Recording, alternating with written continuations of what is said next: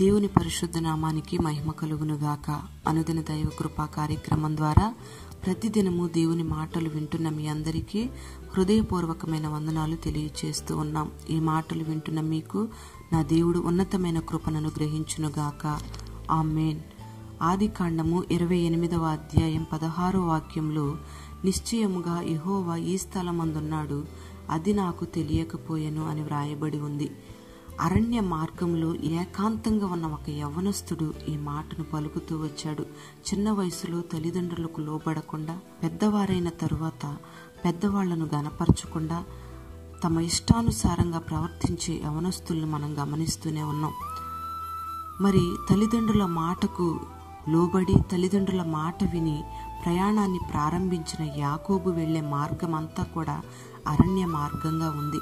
యాకోబు ఏకాంతంగా వెళుతున్నప్పుడు వృద్ధి కృంగింది చీకటి కమ్మింది దిక్కు తెలియక మునుపెన్నడు వెళ్ళని అరణ్య మార్గంలో మెల్లగా నడుచుకుంటూ వెళ్తూ ఉన్నాడు. యషయ గ్రంథం యాభయో అధ్యాయం పదో వాక్యంలో మీలో యహోవాకు భయపడి ఆయన సేవకుని మాట వినువాడెవడు? వెలుగు లేకయే చీకటిలో నడుచువాడు యహోవా నామమును ఆశ్రయించి తన దేవుని నమ్ముకొనవలెను. ప్రైజ్దలాడ్ ఈ వాక్యానుసారంగా విధేయుడైనట్లుగా యాకోబు మనకు కనబడుతూ ఉన్నాడు. మరి యాకోబు అరణ్య మార్గంలో చీకటి అనుభవాలలో నడిపించబడుతూ ఉన్నప్పుడు దేవుని నామాన్ని ఆశ్రయించి ఆయన్నే నమ్ముకున్నాడు. ప్రైజ్ దలాడ్ ఈ వాక్యానుసారంగా విధేయుడైన యవనస్తుడు యహోవాను భయభక్తులతో సేవిస్తూ ఇసాకు మాటను బట్టి ప్రయాణం చేస్తూ హఠాత్తుగా అతన్ని చీకటి కమ్మినప్పుడు వెనుదిరిగి చూడకుండా తన దేవుణ్ణి మాత్రమే ఆశ్రయించాడు. మరి అతడు ఒక చోట కొన్ని రాళ్ళలో ఒక రాతిని తీసుకుని తనకు తలగడగా పెట్టుకుని పడుకున్నాడు. ఈ మాటను బట్టి మనం గమనిస్తే నానా విధమైన భయంకరమైన శోధనల మధ్యలో శ్రమల మధ్యలో మనం ప్రభువునందు విశ్రమించి విశ్రాంతి తీసుకునే అనుభవాన్ని సూచిస్తూ ఉంది. చీకటి కమ్మిన అరణ్య మార్గంలో ఒంటరిగా ప్రయాణం చేస్తున్న దేవుని బిడలారా యాకోబు జీవితంలో చీకటి ఆవరించినట్లుగా మీ జీవితాలలో కూడా పూర్తిగా ఆధారాన్ని కోల్పోయినట్లుగా ఆశ్రయాన్ని కోల్పోయినట్లుగా నీవు తల్లడిల్లిపోతూ ఉన్నావేమో. తల్లిదండ్రులకు సావుకులకు దేవుని వాక్యానికి విధేయత చూపిస్తున్నప్పటికీ కూడా నాకెందుకు ఈ అరణ్యం లాంటి మార్గాలు ఎదురవుతున్నాయి అని నువ్వు ప్రలాపిస్తూ దుఃఖపడుతూ ఉన్నావేమో? పరిశుద్ధ గ్రంథంలో యవనస్తుడైన యోసేపు తన తండ్రికి లోబడి తన సహోదరుల క్షేమాన్ని తెలుసుకొనడానికి వెళ్ళినప్పుడు అతడు ఎన్నడూ చూడని ఎదురు చూడని ఒంటరి ప్రయాణం అతనికి కలిగింది. మరి అటువంటి అరణ్య మార్గంలో కూడా ఈ యోసేపు ప్రభువునే నమ్ముకున్నాడు. క్రైస్తలాడు యవనస్థుడు యవన కాలంలో అరణ్య మార్గాల్లో నడిపించబడిన దినదినము వర్ధిల్లుతూనే వచ్చాడు. కొంతకాలం తరువాత ఐగుప్తు దేశమంతటి మీద ఒక గొప్ప అధికారిగా మార్చబడ్డాడు. ప్రియ దేవుని బిడ్డ ఇప్పుడు నువ్వు దాటి వెళ్తున్న ఇబ్బందులను గూర్చి భయపడుతూ ఉన్నావా? దిగులు పడుతూ ఉన్నావా? నువ్వు సత్యాన్ని వెంబడిస్తూ ఉంటే అనేక మందితో ద్వేషింపబడి ఒంటరిగా మిగిలిపోతూ ఉన్నావా? అయినా సరే నువ్వు ప్రభువునే ఆశ్రయించు. ఆయన ఎందే నీకు విశ్రాంతి కలుగుతుంది. ఆయనలోనే గొప్ప ఆశీర్వాదాన్ని నువ్వు చూడగలుగుతావు. ద్వితీయోపదేశకాండము ఎనిమిదవ అధ్యాయం పదహారో వాక్యంలో తుదకు నీకు మేలు కలగవలెనని దేవుడి నిన్ను అణచుటకు గొప్ప అరణ్యంలో నిన్ను నడిపించుచున్నాడు అను సంగతిని నువ్వు మర్చిపోకుము.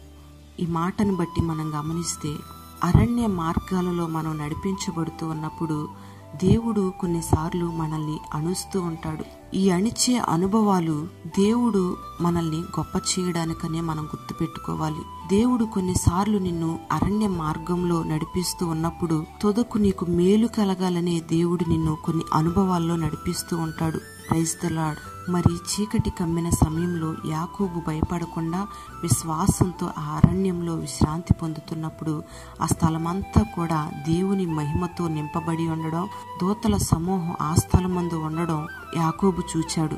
దేవుని స్వరాన్ని విన్నాడు. అప్పుడు యాకోబు అంటాడు నిశ్చయంగా యహోవా ఈ స్థలమందున్నాడు అది నాకు తెలియకపోయేను అని మేల్కొన్నాడు. తన తండ్రి ఇంటిలో సంతోషంగా జీవించిన రోజుల్లో కూడా ఈ విధంగా దేవుని మహిమను యాకోబు చూడలేదు.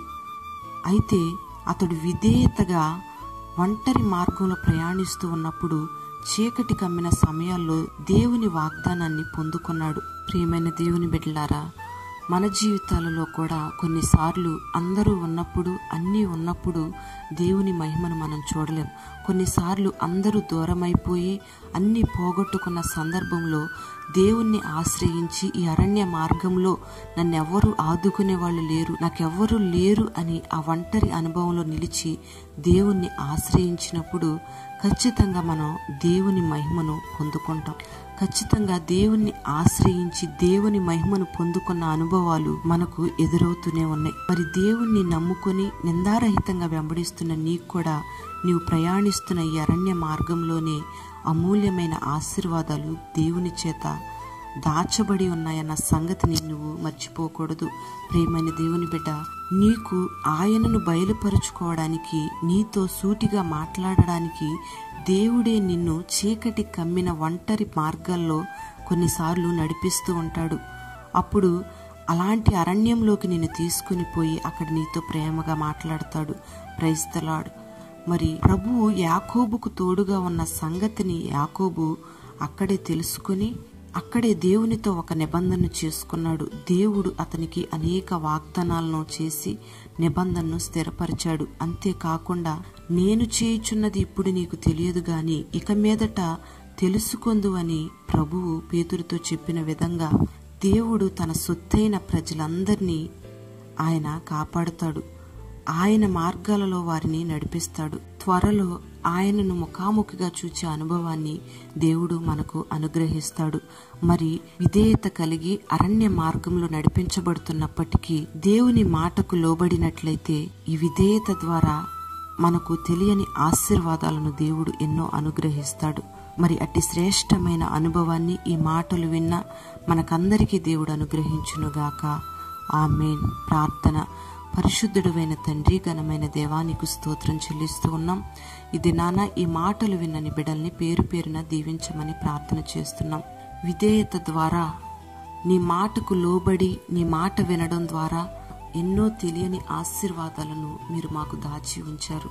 అందును బట్టి నీకు స్థుతి చెల్లిస్తూ ఉన్నాం. యాకోబును అరణ్య మార్గంలో నడిపించి యాకోబుతో మాట్లాడిన రీతిగా యాకోబుతోని నిబంధనను స్థిరపరిచిన రీతిగా మా జీవితాలలో ఈ మాటలు విన్నని బిడల జీవితాలలో కూడా అరణ్యం లాంటి అనుభవాలలో నడిపించబడుతూ ఉండగా నీ ఉన్నతమైన స్వరాన్ని నీ బిడలకు వినబడి చేయండి నీ బిడలతో మీరు మాట్లాడండి ఆదరించండి ప్రేమగా మాట్లాడి నీ బిడలను ధైర్యపరిచి నీ బిడల అవసరతలను తీర్చి ఆరోగ్యాన్ని కలుగు చేసి సమస్యలన్నిటిపై విడుదల కలుగు చేసే గొప్ప నెమ్మదితోని బిడల కుటుంబాలను నింపి మహిమ మీరు పొందుకొనండి. ఈ దినమంతా నీ సన్నిధిని బిడలకు తోడుగా ఉంచి చేస్తున్న ఉద్యోగాలు చేతి పనులు వ్యాపారాలు సమస్తాన్ని దీవెనకరంగా మార్చి మహిమ ఘనత ప్రభావాలు మీరు పొందుకొనమని ఏసు నామంలో అడిగి వేడుకుంటున్నాము తండ్రి. ఆమెన్.